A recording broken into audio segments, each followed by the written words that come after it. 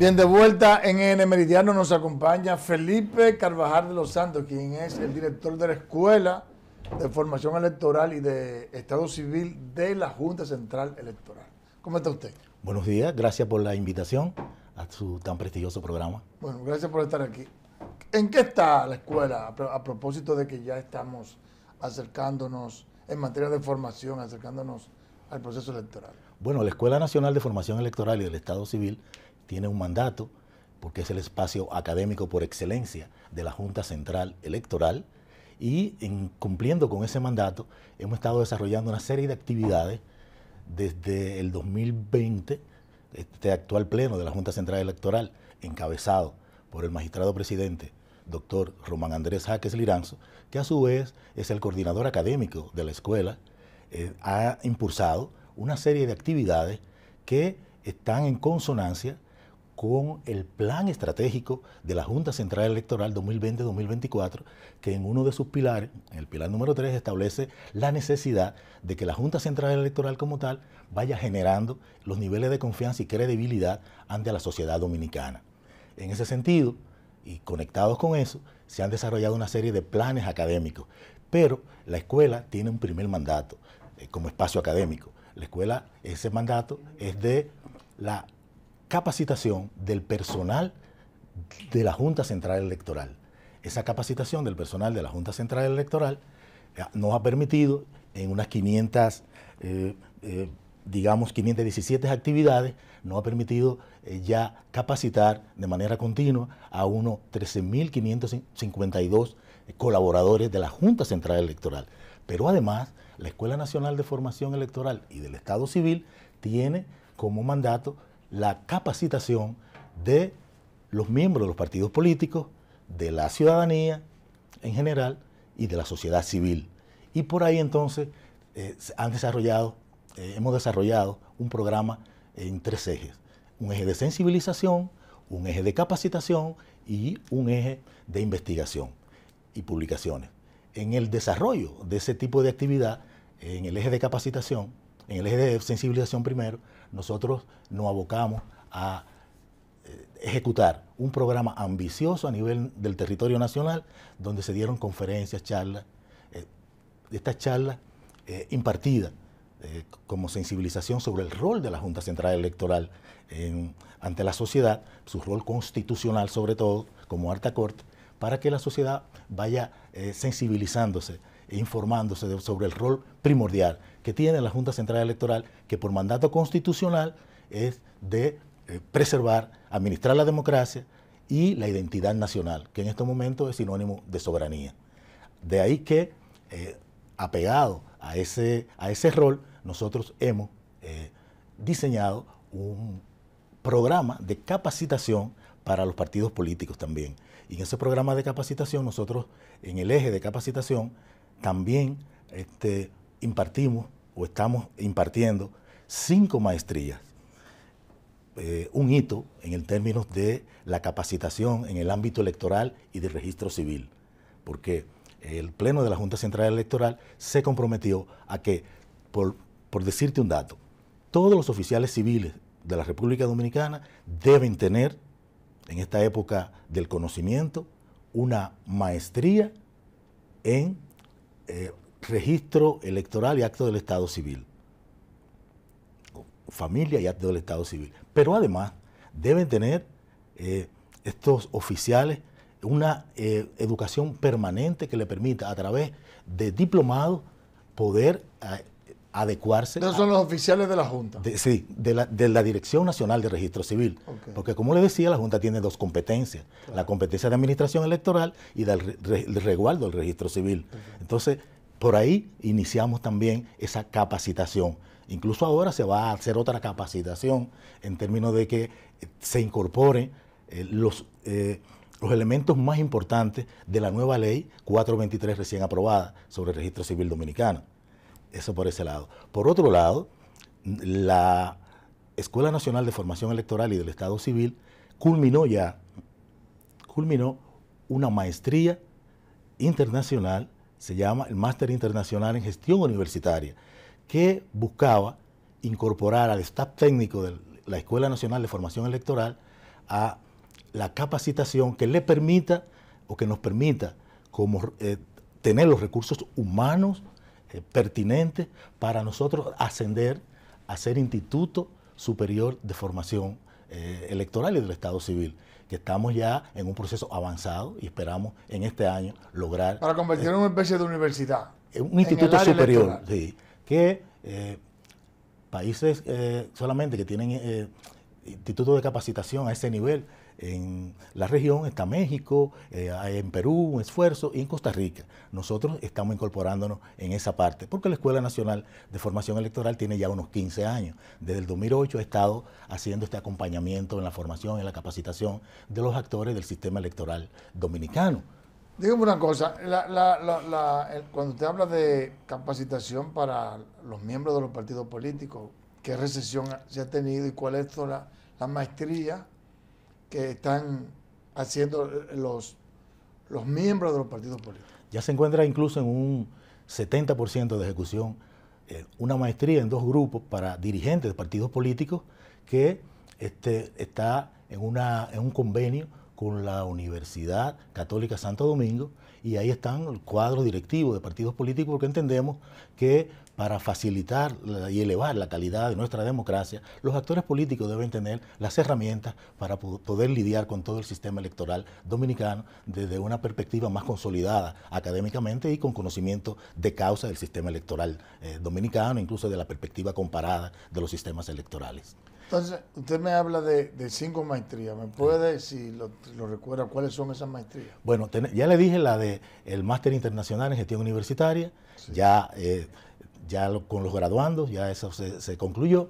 Está la maestría en alta gerencia de partidos políticos, dirigida a los partidos políticos, con dos grupos en la Universidad Católica Santo Domingo. Está la maestría en administración electoral y ciencias políticas en un convenio con la UAS, que también dividido en dos grupos, uno interno y externo está la maestría en familia y acto del Estado Civil, que también se están dando para todos los oficiales eh, del Estado Civil, del Registro Civil de la República Dominicana, y también está la maestría en Administración y Ciencias Políticas, además de la maestría en Administración Electoral que está con la Pontificia Universidad Católica, eh, la Pontificia Universidad Católica, Madre y Maestra. Y ahí, en ese, ahí tenemos dos grupos de donde está un grupo externo, sociedad civil, gente que está interesada, y un grupo interno de la Junta Central Electoral, por mandato mismo del EFE, que debe estar dándole continuidad a la formación continua de sus servidores. Y para una nota importantísima es que el criterio de selección para eh, eh, agrupar esas maestrías y participar en esa maestría es que los participantes se le da una, eh, bajo el criterio de paridad de género. Si una maestría tiene un cupo de 40 personas, 20 deben ser hombres, 20 deben ser mujeres, porque eso marca una coherencia con el pilar estratégico número 6 del plan estratégico de la Junta Central Electoral y que establece y que lucha por la necesidad de la igualdad de género en la participación político-electoral de la República Dominicana. Mire, y, eh, hay una cantidad X de partidos políticos. Y le pregunto, cómo se distribuye de manera tal que los diferentes partidos políticos puedan tener la posibilidad de accesar a esas. Bueno, el criterio es que, como todo bien sabe, eh, se distribuye esa participación en términos de eh, el peso político de cada partido, porque hay partidos mayoritarios y hay partidos emergentes. A los partidos mayoritarios generalmente se le da una cuota de tres participantes, a los partidos que son emergentes eh, no me gusta utilizar el término minoritario, sino emergente, que están en construcción de mayoría, se le da una participación de dos.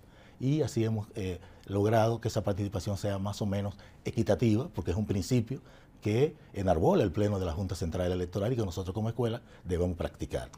¿Cómo usted ha, percibido que a través de, esta, de estos estudios los partidos políticos van cogiendo conciencia, van manejando con más criterio todo el proceso electoral y todo el proceso de organización y eso. Sí, yo pienso que sí, que eso debe impactar eh, en generar, ir generando en la República Dominicana una masa crítica de personas que inciden en los partidos políticos, en la dirección de los partidos políticos, ¿para qué?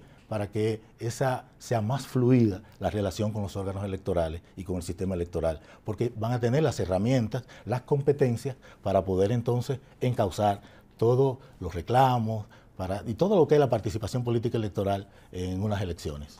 Mire, eh, lo, cuando se abren las maestrías, ahí se nota interés de parte de, digamos, de la dirección de los partidos políticos de que su, su, tus miembros vayan, vayan y se ve el entusiasmo. O sea, hay realmente un interés de parte de los partidos políticos de, lograr esa formación. Hay un doble interés, tanto de los partidos políticos como de los delegados, de las personas que tienen funciones directivas en los partidos.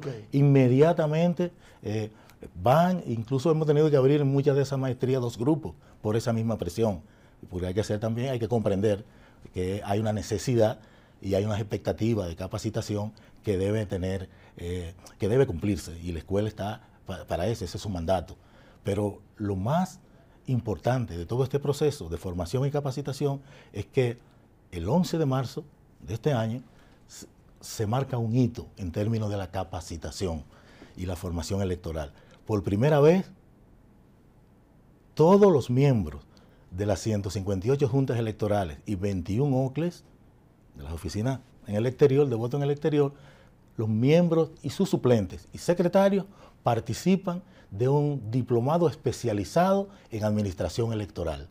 ¿Y esto por qué? Esto viene a suplir una necesidad a partir de un diagnóstico que se hace, que hizo el Pleno de la Junta Central Electoral, antes del proceso de reestructuración de las juntas electorales, se hizo unos encuentros regionales con esas juntas, con todas, tanto a nivel interno como a nivel externo, y se identificaron una serie de fallas, falencias, que eh, obstruían la fluidez de la administración electoral, tanto en la parte administrativa como en la parte jurisdiccional.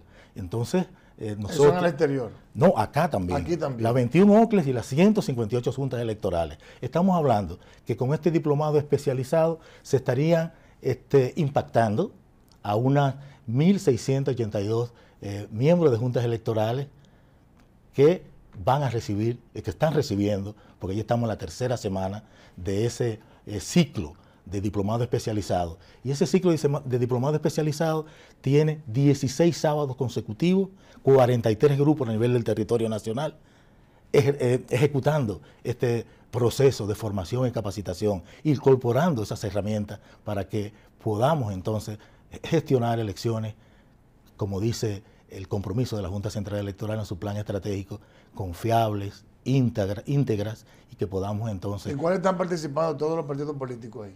No, no, eso es para miembros de juntas electorales, ah, suplentes y secretarios. Esa es la parte como interna de la gestión electoral.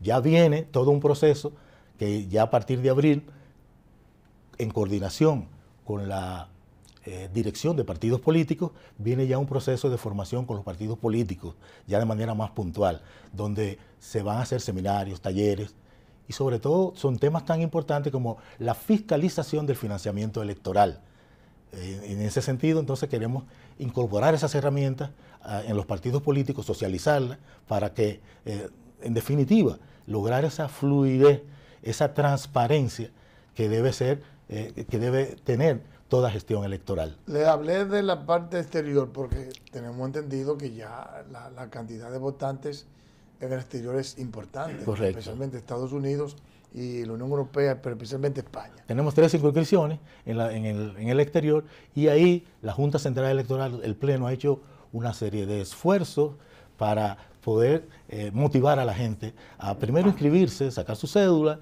eh, y segundo que luego participe en el proceso electoral. Y estamos proyectando que de 530 y algo mil de eh, votantes que tuvimos en el proceso anterior, ahora puedan votar por lo menos 1.3 millones de dominicanos en el exterior y que se, se les reconozca a la importante diáspora que vive en el exterior su derecho a elegir y ser elegido. Dígame una cosa, ¿y cuándo se va a abrir un, diplomado para los periodistas? Eso está Porque los, periodistas necesitamos conocimiento para poder eso está en carpeta, ayudar a la Junta. Sí, eso está en carpeta de parte de la eh, Escuela Nacional de Formación Electoral, esos diplomados a eh, elementos de la sociedad civil, a los gremios que puedan estar, a los medios de comunicación sobre todo, porque son un aliado eh, indispensable para cualquier proceso electoral. Bueno, yo Estamos en la era de la comunicación. Yo espero ser el primero en la lista. Claro, claro. Felipe Carvajal de los Santos, director de la Escuela Nacional de Formación Electoral y de Estado Civil de la Junta Central Electoral, nuestro invitado en el día de hoy. Muy buena su participación y yo creo que eso es un gran aporte para el fortalecimiento de la democracia de la República Dominicana. Conocimiento, formación. Muchas Incluso, gracias. sí, incluso nosotros tenemos eh, en el área de investigación unos entregables que venimos ahora y además se realizó un concurso de ensayos sobre democracia e identidad y ahí se premiaron, unas, eh, los cinco, concurs- eh, cinco resultaron premiados y tenemos eh, un acto para poner en circulación esos ensayos que son también un aporte desde la sociedad a lo que es el estudio del sistema electoral dominicano. Perfecto. Felipe, muchas gracias. Gracias. A ustedes nos vemos mañana en una nueva entrega de EN Meridiano.